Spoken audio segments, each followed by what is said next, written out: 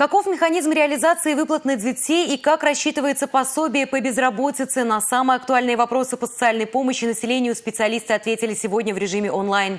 Прямая трансляция велась в одной из социальных сетей. Вопросы от жителей республики принимали ВКонтакте в паблике «Чувашия без паники». За три дня под постом собралось более 250 комментариев. Просили разъяснить порядок выплат или объяснить принятые меры поддержки. Многих волнует материальная поддержка семей с детьми.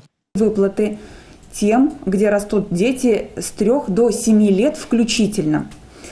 Для этого нужно оформить всего одно заявление. Представление каких-либо дополнительных справок, документов не требуется – Всю необходимую информацию органы социальной защиты будут получать в рамках э, межведомственного электронного взаимодействия. Заявления на выплаты в условиях пандемии принимают удаленно, через портал госуслуг или на сайте пенсионного фонда. Кроме того, что сайт несколько раз подвисал, некоторые родители столкнулись с ошибкой при добавлении СНИЛС. Это могло случиться из-за неверно расставленных пробелов в номере документа или из-за системной ошибки, пояснили в пенсионном фонде. В этом случае стоит обратиться на горячую линию регионального управления. Заявления на выплаты принимаются до 1 октября. Те, кто их уже оформил, интересовались сроками. Все заявления, включительно по поступившие по 22 число мая, мы рассмотрим до 26 мая. Средства э, по ежемесячным выплатам будут произведены, перечислены 28 мая. По 10 тысячам в указе также было сказано и в правилах выплаты сказано, выплата производится в июне.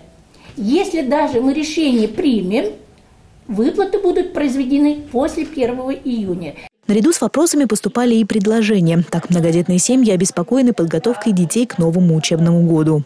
Ну и предложение по поводу выплат многодетным семьям к учебному году, оно, несомненно, интересно и будет нами оценено с учетом тех фактических выплат, которые на сегодня семьям производятся, ну и с учетом э, наличия источников финансирования, за счет которых любая мера поддержки должна быть обеспечена.